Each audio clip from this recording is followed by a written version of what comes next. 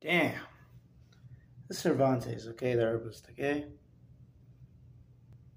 I'm just going through my spiritual cleansing. But what I wanted to fucking say is, damn. They really signed a fucking virtual rapper artist. I was watching Papa Duck put his thing in the fucking uh, description. And they're really fucking going through with this shit.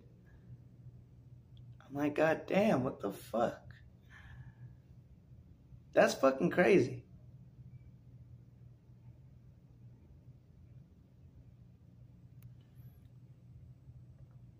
That's the first step of having everyone sucked into the metaverse. First is this TV, you know. And then as the shit gets out, like, you know, gets worse out here because we haven't seen shit yet. That's why you gotta keep your vibration up um, the more crazy gets out here, people get so fucking like annoyed, mad, sad, depressed that they will want to be in the metaverse.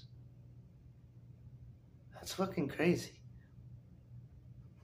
It's like, damn, this is really the fucking split. It's gonna happen. So, uh, really, all I can say is do your best to like prepare and if you or anyone took that,